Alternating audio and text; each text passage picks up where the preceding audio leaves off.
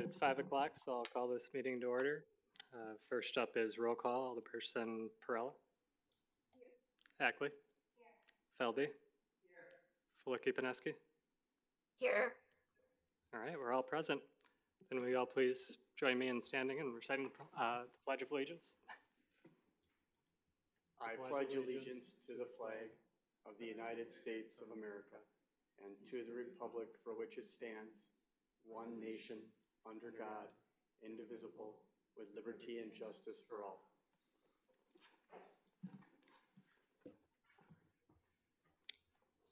All right, and uh, barring any objections, I think we can skip through the introductions this time around. Uh, So we are on to 2.1, approval of the minutes. Do we have any motion or discussion?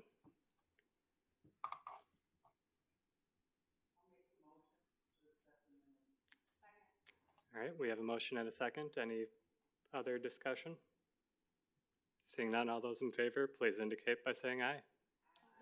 All opposed? Chair votes aye, motion passes. On to item 3.1, which is Resolution 232122, uh, a resolution updating the policy for applying the undesignated fund balance for the general fund's ensuing budget, budget year.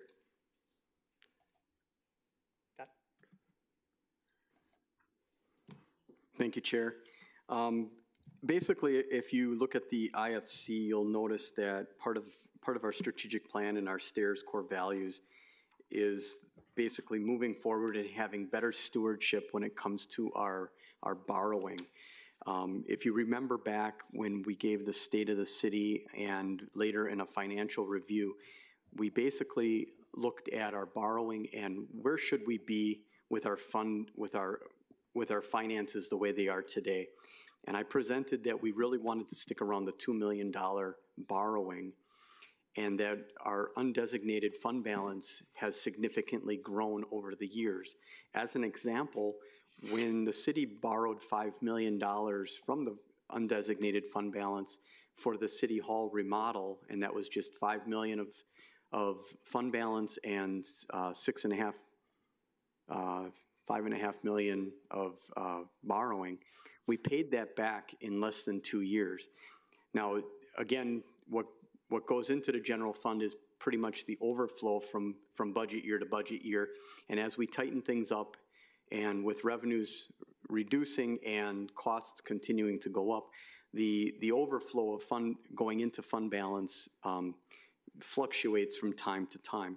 What we are asking the council and the committee to approve is through this proposal is that we would actually be able to use um, the, the basically, uh, the amount that's overflowing from year to year from, uh, so like in 2020, we had a million two of um, non-designated money from the prior budget overflow into the um, general fund. So we would like to actually be able to use that versus using, versus it going into the general fund, we would actually be able to use that to reduce the amount of debt that we would actually be borrowing the year after. Um, So I guess if there's any questions, I can explain it a little bit better, but we do have fifty-three percent, according to our GASB, fifty-four. We, we were trying to figure out where we came up with the twenty-five percent. We're at fifty-two percent, I believe.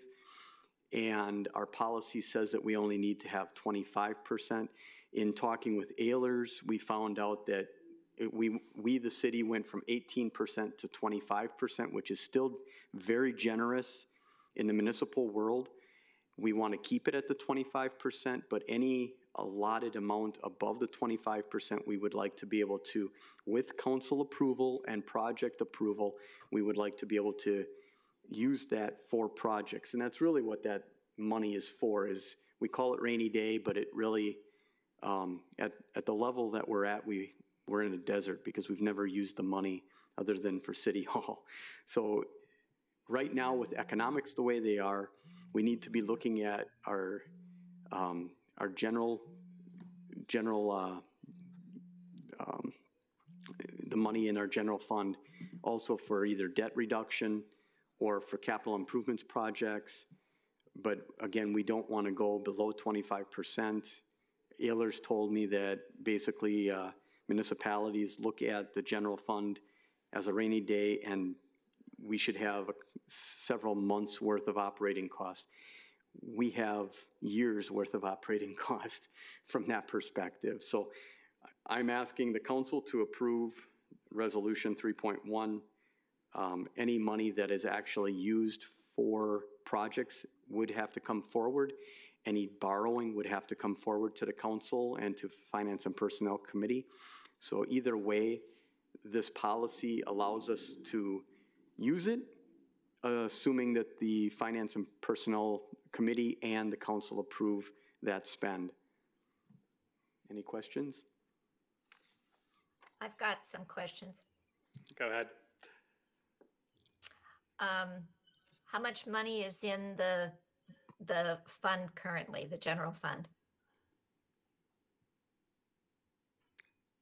I would have to look. I don't have that in front of me. I, it's in our, it's in our budget and brief. And then if you wanted to add 1.2 million to that, and I apologize, I didn't bring it. Caitlin, can you look that up? Yes. Are, If you are we on, talking? Okay, if you hold on just a second, we'll have that number for you. that'd be good. While, while she's looking for it. Um, what's the rule of thumb with other municipalities that for percentage of fund balance? Ehlers said twenty-five percent. Is that, is that typical for larger municipalities? Is that, is that the base that the state tells us we have to have? No, there was a confusion with GASB 54. We thought that GASB 54 originally was the identifier on what the percentage is. In talking with Ehlers, there isn't an actual percentage. As I had said, um, they basically recommend that you have several months of, of operating cost as a buffer. As an example, where, where Caitlin came from, anything over 10% they would spend. And we are presently at, right here, the 30, 35? Oh. Fund balance, yeah, the fund balance right now is 18, over 18 million, and that's for general fund. And again, we only need to have 9 million and some change in there, so we're over, over double if that answers your question. Over, Um, it does. And then- And typically our budgets range $4 million a year? Our, our capital improvements budget, uh, for, for many, many, many years, over a decade, we're at, we're capped at 3 million. And I believe it was three or four years ago, we, in capital improvements, we had questioned that amount. And in calculations for, for construction cost and cost of living and things like that, it was, it was, um, it was increased. I believe that we could go up to about 4.7 million. The question that I had is, we can, we can always increase it, but we have to be able to afford the spend, the payments. And the city has spent a lot of money in the last four to five years. So our, our debt payment is around 4.7 a year just in debt. And that's, and that's principal and interest, of course.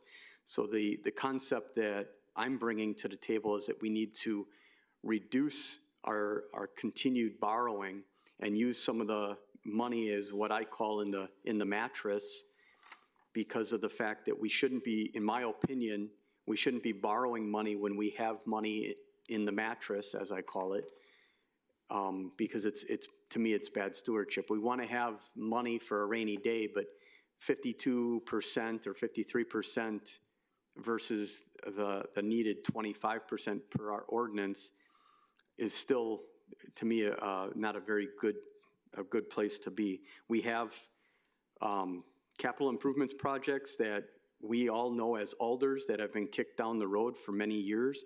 And every time we kick these projects down the road, it costs us more later when we have to go and review them and fix them. I'm not asking to spend all of the money. I'm just asking that we have a policy so that when I talk with Moody's, I can reference the policy and that this is our, our practice. If, if it's if there's money in there above the twenty-five percent, that the council has the ability in our policy to basically allow it to go towards capital improvement projects. That's what, what I'm asking for. I have some more questions if anybody else doesn't. Sure, shoot. Go ahead. Um, This general fund historically has only been used for capital improvements. Is that accurate? General fund can only be used for capital improvements and um, it's basically our, our rainy day money. It cannot be used for operations unless something went south, if you know what I mean.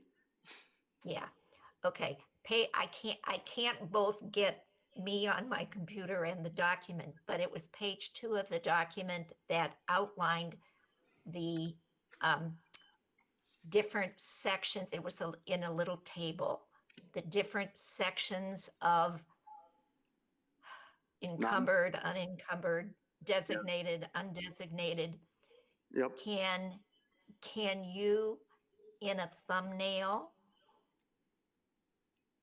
go through that and perhaps give an example of if we have currently an undesignated or a designated dollar amount in that general fund? I'm, tr- I'm trying to get my hands around the size of the fund, what's been encumbered or promised, what's left over, and good stewardship. so I believe on page two of that document that it, it does explain.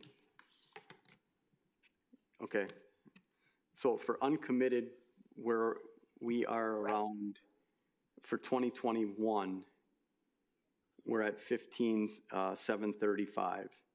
For committed, we have two point four million, so it equals the actual eighteen plus million for twenty twenty-one, what, which is what was adopted.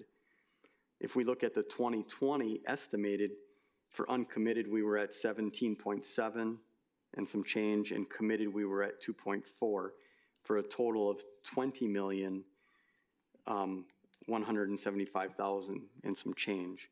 And again, please remember that we only need 9 million and some change, so just round it off to 10.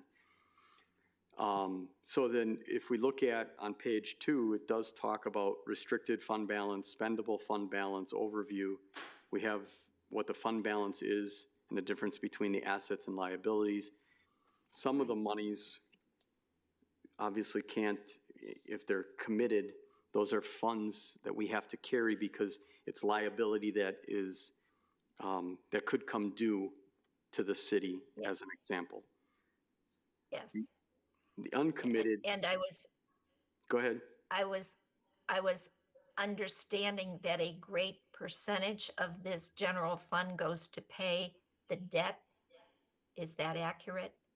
To pay the debt, what, please, uh, please The- explain. The, the- there was, there was a four point something million, again, I don't have the document in front of me, i, I apologize. Can you tell me the document that you're referencing? It's the, it's the one that we got attached. And I, I can ask a question later when I can get the document printed. Carrie, what document are they talking about?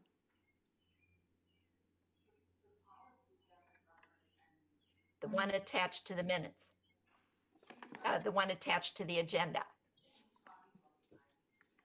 Are you talking the IFC, Roberta? Yes, Okay, I have, I have the IFC in front of me and I'm, I apologize, I, I don't see the numbers that you're, you're referencing. it's I should, who- should apologize because I don't have it in front of me. No, But I'm, I am trying to follow along, so, um, we try to give as much information as possible. The, the spirit of the, of the policy that we are asking for is to, is to allow, the, the council has the ability to use the general fund for capital improvement projects, but we don't have any reference to that in, in our, um, in our ordinance, in our, um, in our document. So when we, when we talked about the fact that, uh, the GASB fifty-four, in our ordinance, it references GASB fifty-four when we went from eighteen percent to twenty-five percent. And we thought, well, originally we thought, well, let's just follow the GASB fifty-four. Well, that GASB fifty-four just talks about the limits and what's recommended and things like that. In talking with Ehlers, um, Dawn Gunderson, basically, her and I in conversation, she basically said that Moody's looks at thirty percent or better as favorable for a municipality. So my, my thought was, that's one reason why we get favorable um, double A two recommendations, because we are significantly above the thirty percent.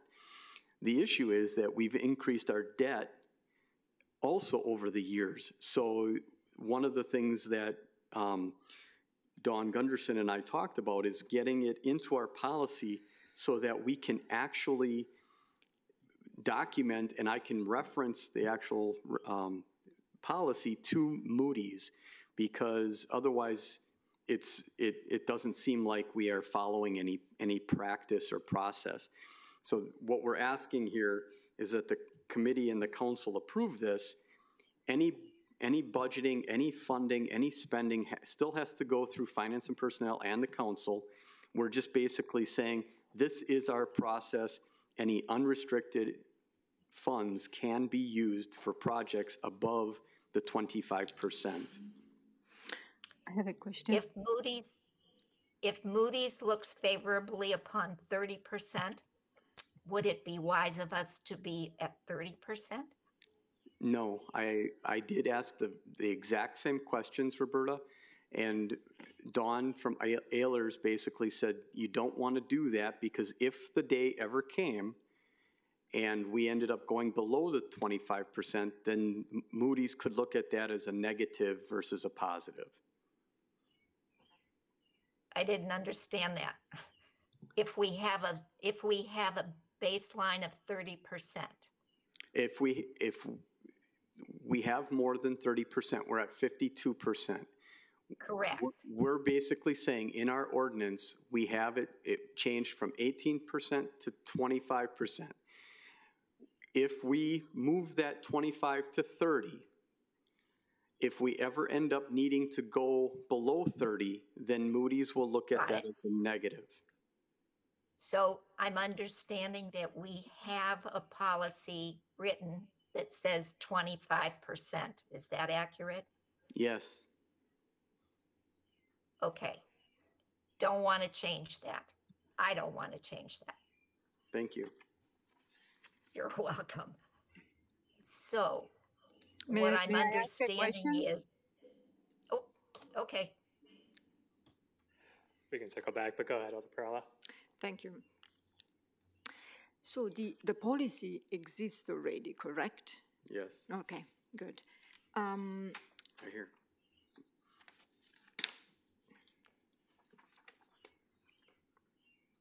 Is that the policy you're referring to? Yeah, No. you, Carrie, did we put the, we attached the policy? Yeah, you, Yeah, the committee should have had the, the resolution twenty-three twenty-one twenty-two. Yes, I, I got it. So the, the ones that I- has all the definitions, correct? Yes, Okay, perfect. Uh, so I understand the, the concept and I understanding, uh, I would just wanted to have a confirmation. One, that, so you said, or better, it looks like that the, um, the reserve would be used only for capital improvements, right? council approved capital improvements, yes. All right. It cannot be used for operational. And could that be, could that be used for uh, emergency situations, just as it would be used if left as a reserve of the GO funds? Yes, if the city of Sheboygan were to have a catastrophic situation and monies were needed, we could use that. Perfect, thank you. And finally, I was a little confused about the definitions pre-GASB and post-GASB. So would the definitions also be changed? Is that also an ask today, that definitions are changed, adjusted, in addition to the content, the substance of what is asked? Do the definitions also change? No, the definitions do not change. So when, when in the policy it says that the statement substantially changes how fund balances are, are categorized, what does that mean? Which, The first paragraph under oh, the background. GAS? So the statement is, statement substantially changes how fund balances are categorized. It clarifies, modifies how some of the governmental funds are presented and classified. Does that mean that these descriptions are going to be changed? Because then I was a little confused about what is the current definition and what the definition is going to be. And it's not just a matter of semantic. I was actually wondering if then uh, what was what, and if the part that we are going to, in fact, free, in quotes, from the reserve is only the assigned and undesignated funds, and which one that is in this table, is what I'm asking.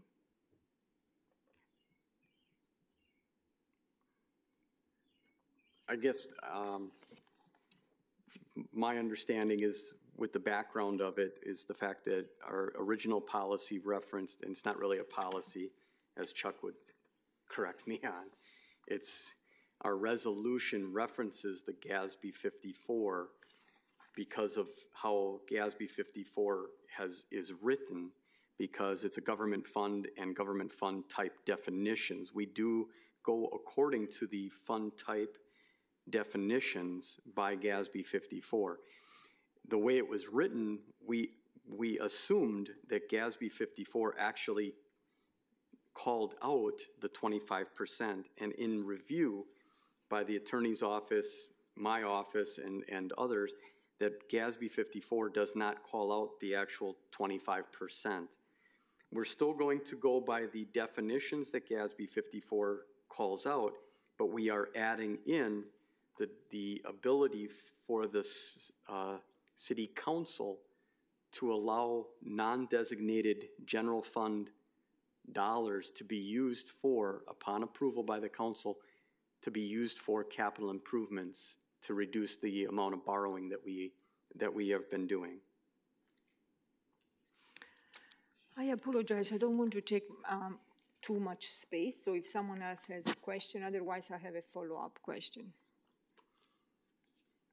Uh, I'll just interject with a really quick question. When it came to using fund balance for City Hall, is that what we did there, basically exactly what this policy, just as a written version saying we can do in the future? That is correct. Okay, thank you. Go ahead. I guess that what I don't understand is if there is no amount set in the policy, why does the policy itself need to be changed? I mean, I understand the change of use of the GO funds, um, and I actually agree with that. I just don't understand what is that in the policy has to be changed if there are no numbers and percentages. We're not, we're not changing the numbers, Grazia. What we are looking to do is add the point that the city council can approve for capital improvements projects, the undesignated funds above the twenty-five percent.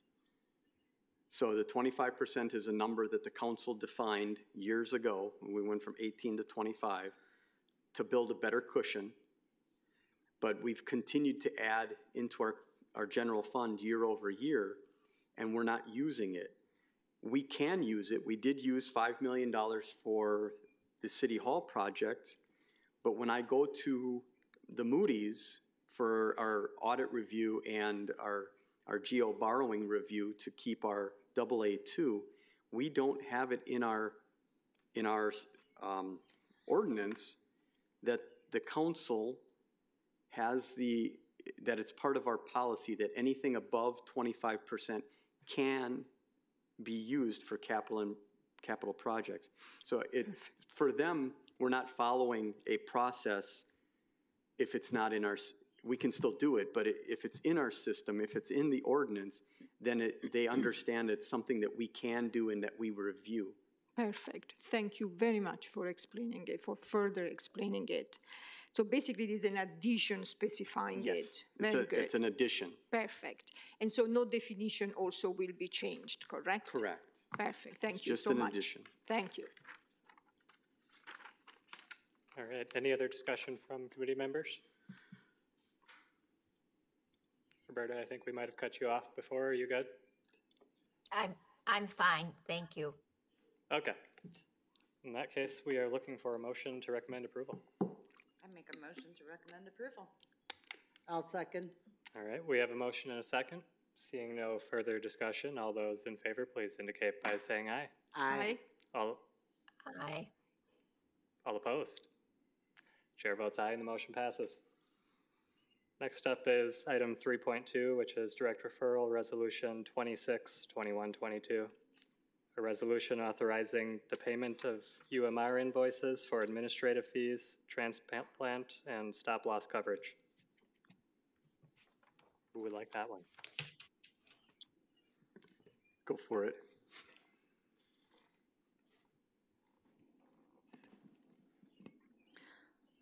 Good afternoon. Um, We are uh, adopting new policies based on uh, past practices that weren't necessarily in alignment with what uh, we needed to do both in the in the Human Resources Department and in the Finance Department. So this is uh, our first uh, opportunity to actually implement a process that would, whenever there's an invoice that is over the threshold of what Administrator Wolf is authorized to um, uh, to pay, that it would go through to finance and personnel. We are working on uh, an aspect of a policy so that we would be able to, um, because these are typical monthly invoices based on our self-insurance program, that these would be something that you would be able to see and approve uh, the authorization for Administrator Wolf to go forward and- and authorize payments on a monthly basis. Uh, At this point, we are asking for the particular invoice that's attached to be paid um, based on the fact that this is something that has been a regular occurrence through, through our operations and through our self-funded insurance plan. So this is the first time that you'll be seeing this. Um, This isn't an unusual invoice. It, it's just one that we're bringing forward to you because this is the, the initiation of a process that we want to be more in compliance uh, for you and for the council. Are there any questions? Otherwise, I'd like to add a few, few words.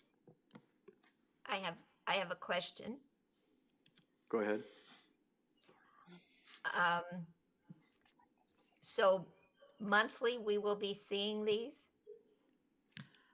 The, the goal is that you will be seeing uh, these on a monthly basis until the, the new policy is adopted so that you will have uh, uh, either a monthly financial report or a quarterly report or uh, the policy that will allow for the payment of this on that, uh, on a month, we pay that on a monthly basis, but you will have that annual agreement uh, to be able to allow Administrator Wolf to actually process these.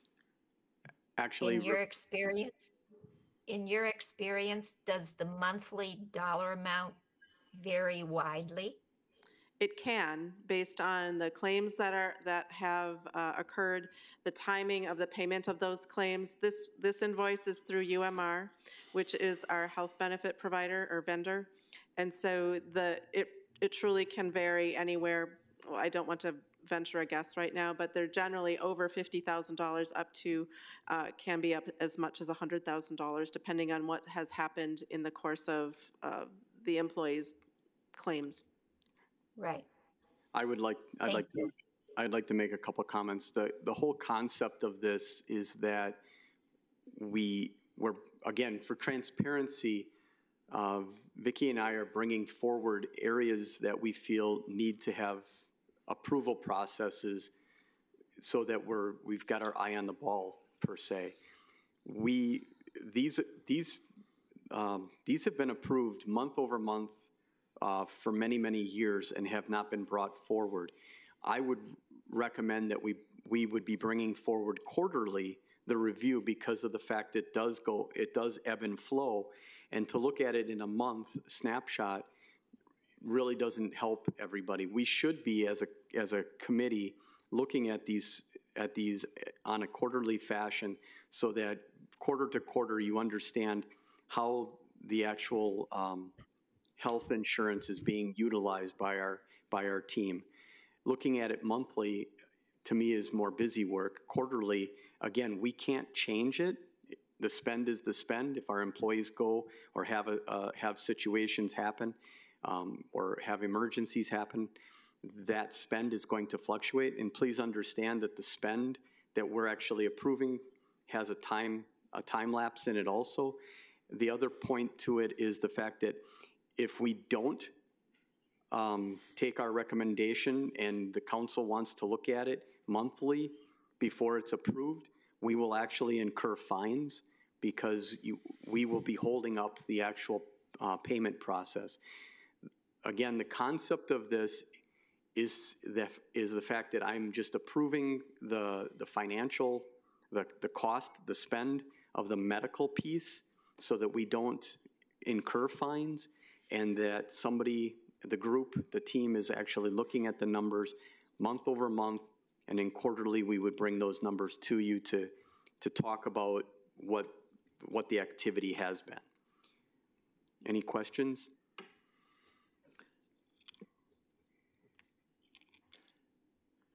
No questions? Just one brief oh. question.